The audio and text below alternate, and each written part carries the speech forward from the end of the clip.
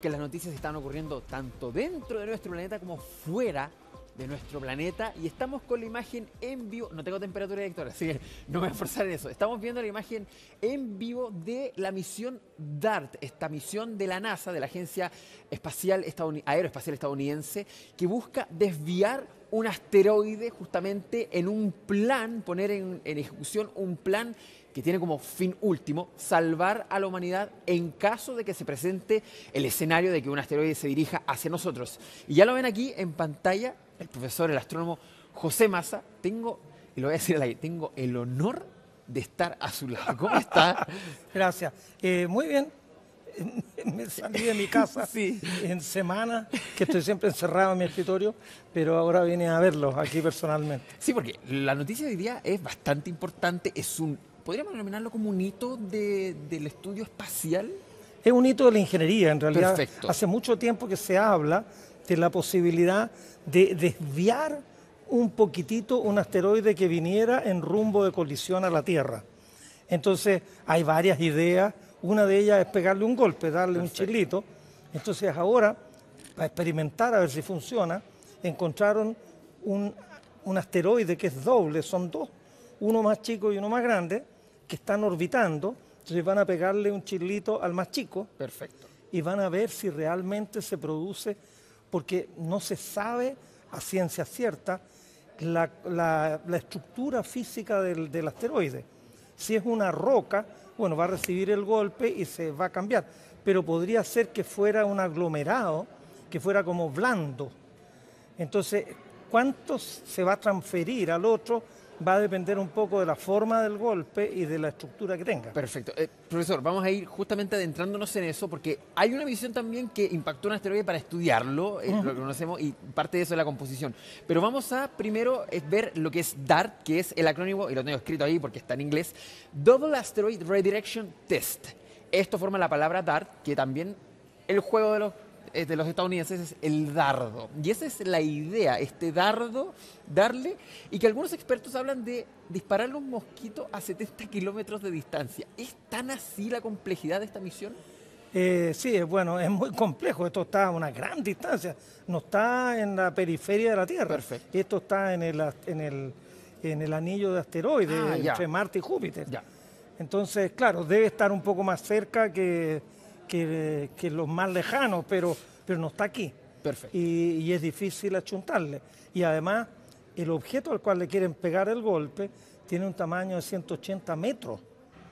Imagínate, el planeta Tierra o Marte. Marte tiene como 5.500 kilómetros de diámetro. A, escala espacial es diminuto. Claro, esto es diminuto. Es del porte de un cerro, es como... Es más chico que el Cerro San Cristóbal en, Santiago. Ya, ya. ahí está la chico. Perfecto. Entonces, pero de todas maneras hay una relación, así órdenes de magnitud, la masa del objeto que van a impactar es como un millón de veces más que la masa del dardo que le va a pegar. Entonces, si el dardo va a 28 mil kilómetros por hora, la velocidad con que va a impulsar va a ser un millón de veces menos. Hay que dividir por un millón los 28 mil kilómetros por hora y queda algo así como 0,03 kilómetros por hora. Perfecto. Realmente el cambio de velocidad va a ser mínimo. Mínimo.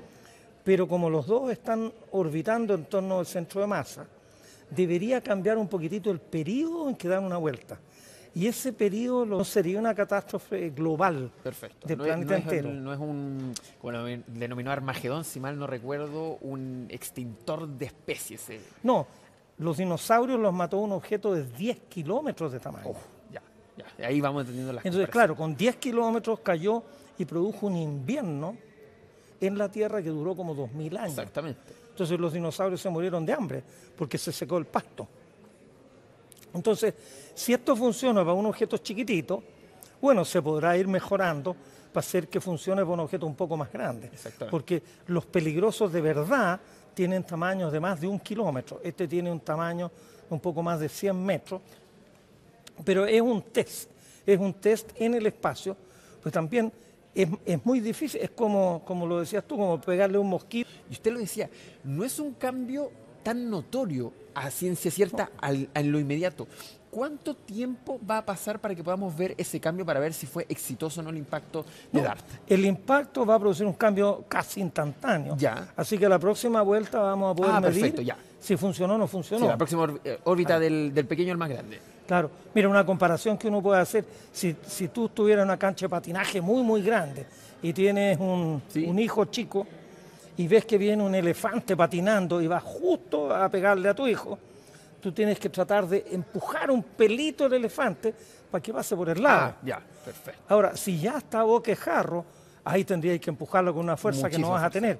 Pero si está a un kilómetro de distancia, con pegarle un empujón con bastantes ganas, con que se desplace unos milímetros a un kilómetro, el desplazamiento va a hacer que se va a ir alejando y alejando y ya no le pegaría al, objeto que queremos proteger. Ahora, profesor, y aquí viene lo que hemos visto también en distintos estudios, por ejemplo, eh, el tema de la comparación con el mosquito a la distancia es por algo cierto. Hay distintas fuerzas que fluctúan dentro del universo, dentro del espacio, que son las fuerzas gravitacionales. Hemos visto, por ejemplo, las fuerzas gravitacionales, me refiero a distintos objetos, los planetas, el Sol, los, eh, agujeros negros también. Y en este caso, em, dentro de los cálculos, ¿Qué podría suceder con este asteroide una vez impactado? Eh, ¿Hay algún cálculo finalmente de qué es lo que podría suceder en el escenario posterior? Porque estamos cambiando un objeto que lo tenemos muy estudiado en cuanto a de dónde venía, pero ¿de dónde va a ir a terminar con este impacto? No, eh, mira, eh, son, son como dos bailarines que están bailando y tú a uno, los- a, a la bailarina que es más, que, tiene menos Que tiene menos masa, sí. claro, le pega un empujoncito. Entonces vas a hacer que cambie un poquitito el baile, nada Ya. más. Tú no vas a tirar a la bailarina lejos, le vas a dar un pequeño empujoncito y ese empujoncito va a repercutir en que vas a ver que cambió el giro de los dos bailarines. Ya. Eso es todo lo que se pretende.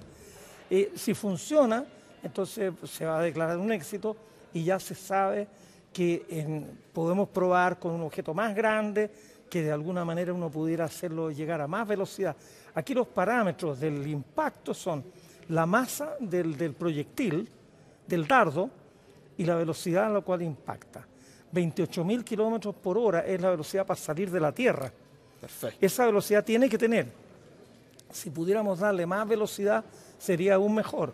Ahora, el objeto, claro, una tonelada ya es bastante grande, a lo mejor incluso pesa menos. No sé yo la cifra, no tengo clara la cifra de cuánto pesa el objeto, pero puede pesar del orden de una tonelada. Ya. Si el objeto pesara 10 toneladas, sería 10 veces más efectivo. Exactamente, la fuerza ya sería mayor. Ahí es directamente proporcional al- a la masa. Ya, perfecto. Sí, para que entendamos, DAR, eh, lo que están viendo ahí en imágenes, que nosotros estamos viendo aquí en la pantalla, DAR tiene el tamaño, dicen más o menos, de una lavadora y tiene el peso, estábamos hablando fuera de cámara, de un auto. Así que para que ahí... Claro, de un auto chico. ¿no? Exactamente, un auto chico, para que tengan las proporciones. Ahora, profesor, ya, ahí sí, obviamente, es un dardo, darle ahí al punto blanco. Claro, pues, es como si el elefante viene, viene corriendo, si tú le pegas en la cola no va a hacer lo mismo que si le pegas en la mitad de la guata. Exactamente, y el efecto también podría ser distinto. eh, Absolutamente. Ya, eso, eso es un punto. Y el otro escenario, ya yéndose a los extremos, es que no golpee nada. Claro, si no golpea nada significa que va a haber que afinar la puntería para la próxima.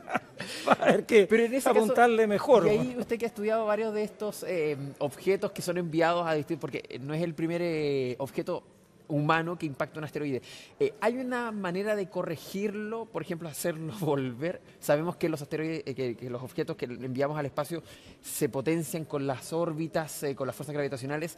¿Hay una forma de corregirlo o perdimos? Yo, yo creo que es como disparar una flecha. Si no, le pe- si no le vas pegando al blanco, a lo mejor podrían, en alguna, hubo una misión, que ya no me acuerdo ni cómo era, que posaron una nave en un asteroide ¿Sí?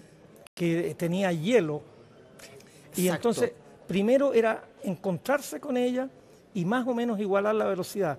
Y entró en una órbita y la órbita fue como degradándose, degradándose, Sí. hasta que finalmente se posaron. Uno podría tratar de darle la vuelta y volver a intentarlo, pero el problema es que la velocidad para poder abordarlo no produciría el efecto. Si, si degradamos la velocidad hasta que igualamos la velocidad con el objeto, no podríamos lo podríamos tomar el objeto, nos instalamos allá con una carpa. es básicamente que la misión no está hecha para aterrizar, No, no, ni no. para corregir, está hecha para impactar y por para eso tiene que ir con gran impactar con la máxima velocidad. La Ya. gracia es que sea lo más rápido posible. Perfecto. Pero tiene que ser un impacto muy bien dado. Ese es el punto. Mira, alguna vez yo también jugué billar y si uno quiere impactar una bola, si le, si la agarra de lleno, sale recta, pero si uno le pega muy por el borde, va a salir en un ángulo, no, no va a producir idóneo. Además, este objeto que se estaba viendo por ahí como un puntito, Sí, si tiene la imagen, director, si tiene la imagen en vivo para que analicemos este no, punto. claro, ese puntito nadie puede ver qué forma tiene. Y los de la NASA más o menos tienen una estimación, pero el objeto, si es, es como un maní, tiene, tiene una, cosa, una forma Sí. rara, pero también tiene que estar girando. Si está girando, ¿en qué posición va a estar cuando lleguemos allá? Entonces hay una serie de, de incertezas que vamos a ver cómo, cómo le funciona el golpe que le van a pegar ahora en estos Y, minutos. y esta misión podría dar otros escenarios, eh, profesor, en cuanto a, por ejemplo, ya, intentamos impactarle, dio este resultado. El próximo va a ser, por ejemplo, pegarle, pero cuando estemos llegando, una bomba. Ponga, me estoy poniendo en el imaginativo, me estoy poniendo en, en- en- en la mente de los guionistas de Hollywood. ¿Existen también esas opciones en algún momento? Porque, y lo vamos a recordar, no es la primera vez que se impacta un asteroide. Ya se impactó una vez, eh, lo que decía usted, una nave y se impactó con una fuerza para poder estudiar su interior, para su composición. Para, para ver la composición. Exactamente. Entonces ya está la opción de un impacto que sea más algo como explosivo, como, mm, eh, eh, como hacer minería aquí en la Tierra. ¿Es una opción también para desviarlo? No, mira, otra opción. En general, estos objetos están orbitando al Sol. Ya. Si un objeto pasa cerca de la Tierra, uno puede calcular que a lo mejor en 10 giros más o en 20 giros más, el objeto va a pasar muy, muy cerca de la Tierra. Tan cerca que nos ponga nerviosos. Entonces, si hoy día uno va y lo empuja un poquito, le cambia ligeramente la órbita y en 10 giros más ya no va Ya a pasar al lado de la Tierra. exacto. Pero para cambiarle la órbita, uno podría ir a pegarle un empujoncito, como van a hacerlo ahora, o por ejemplo, lo que tú estás sugiriendo, de instalarse en el objeto con un con una Dispositivo, pongámosle. claro, con, con un cohete que se pegue al, al suelo y que impulse una gran cantidad de, de combustible para afuera, que lo acelere un poquitito, para que agarre más velocidad Exacto. Si agarra más velocidad también va a cambiar la órbita. Entonces, ¿cuál método es más efectivo? Ir, instalarse allá y pegarle un... em- O, por ejemplo, también dicen, si uno va y arma como un cañón, pone un explosivo enorme, dispara un- una bala de cañón, Ya. el, cula- el- el culatazo del cañón lo, va a hacer que cambie la velocidad. Entonces, hay varias ideas y esta es una de ellas, la más simple, ir allá y golpearlo, pegarle así como un empellón, como dirían en el campo, y vamos a ver cómo funciona. Esto es lo más simple, lo otro ya empieza a ser... Bueno, y la idea más tonta es romperlo, porque en vez de uno van a llegar miles de piedras y, va, Y la- además la, que Tierra va a quedar como colador. Exactamente. Y, no, y tenemos que analizar todas las trayectorias de todas las fuerzas finalmente y cuándo Claro. va a golpear. Eh, profesor, la última pregunta, para, para ir ya cerrando esta conversación que ha estado muy interesante, la pueden ver también en nuestras redes sociales. Nos están viendo no solo en Plus TV, en España, en, Euro- en, Euro- en Latinoamérica, sino también en las redes sociales. Profesor, em, no hay, hasta ahora lo decía, hay una imagen, no hay asteroides conocidos que planteen un peligro real para el planeta Tierra. Pero ¿cuánto conocemos del espacio para decir no estamos en peligro actualmente? Y lo otro, ¿cuánto tendría que ser el real peligro para, por ejemplo, la desaparición de la raza humana? Yo sé que son Eh, preguntas. Sí, no, mira, no se, se estima ¿Ya? que cada 100 millones de años cae en la Tierra un asteroide que produce una catástrofe. Perfecto. La última fue con los dinosaurios. Ya. Hay una catástrofe anterior, hace 220 millones de años, que fue incluso peor que la que mató a los dinosaurios. Es decir, que a lo mejor en 30 millones de años más va a caer un objeto. Pero esto es como los terremotos. Los terremotos son como cada 100 años, pero, nadie evita que no tengamos un terremoto mañana. Exactamente. Así que, y el problema es el siguiente, hay como 15.000 objetos conocidos que son cercanos a la Tierra, 15.000. De esos 15.000 se desgrana a un, algo más de 1.000 que son peligrosos. Que pasan a una cercanía Claro. que es relevante. Claro, que es como 10 veces la distancia a la Luna. Ya. Que pasa a menos, o que pueden pasar a menos de un millón de kilómetros. Un objeto que pase a un millón de kilómetros no nos va a pegar, o incluso a 500 mil kilómetros, ¿no? Pero, O sea, con meses de anticipación se sabe aquí en septiembre, pero los damos a conocer antes para también. Hay un tema de publicitario, voy a decir. claro, pero, pero el problema es que un objeto, después de 10 vueltas, ¿Ya? Definitivamente no va a estar en la misma órbita. Ya. Entonces uno no le puede decir al computador ya, házmelo hacer 10 vueltas.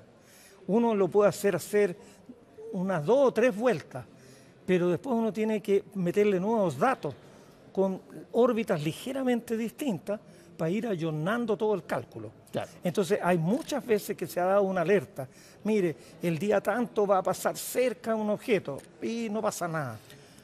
Podría ser como los huracanes, por ejemplo, que cuando uno muestra el mapa de huracán se va ampliando según los días que va pasando. se- así, finalmente, para que sepamos que no es tan fácil como decir, no, va a pasar por aquí y en 10 días más va a volver a pasar por ahí. Es una complejidad de distintos temas que No, distintas inclu- fuerzas dentro incluso, del- por ejemplo, una cosa que es muy difícil calcular, de repente es posible que uno de estos objetos pase tan cerca de la Tierra que no nos pegue, pero que la Tierra lo desvíe severamente Ya. y que después de tres vueltas ahí nos pegue. Entonces podemos ser nosotros mismos los que desviemos el objeto que queremos eludir y que el objeto termine cayendo en la Tierra. Hay, hay un caso famoso de un cometa muy bonito, el Shoemaker-Levy, que pasó muy cerca de Júpiter. Júpiter le cambió la órbita, lo tiró en una órbita mucho más cerrada hacia el Sol y cuando volvió al Sol le pegó a Júpiter. Y, y además, al pasar tan cerca del Sol, el cometa se rompió Ah, sí, en porque- varios exacto. pedacitos. Y los pedacitos fueron pegándole y le dejaron los ojos en tinta a Júpiter. Y el que, el que lo tiró a la órbita distinta fue, el propio Júpiter. Así que un- una especie de suicidio colectivo Esperemos que no nos pase. eh, pero eso también puede pasarnos a nosotros. Ahora, Júpiter tiene una masa 300 veces Sí. más grande que la Tierra.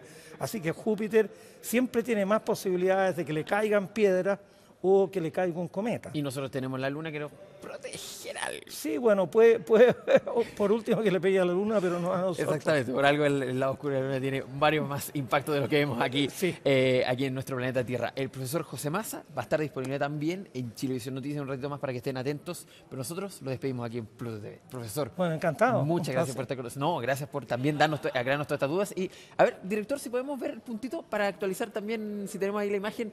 Ya, ese es el puntito. Ya. Nos quedamos con ese Vamos puntito. a ver si el dardo le pega al puntito. Exactamente. Sí. Ya, profesor, muchas gracias por estar con nosotros.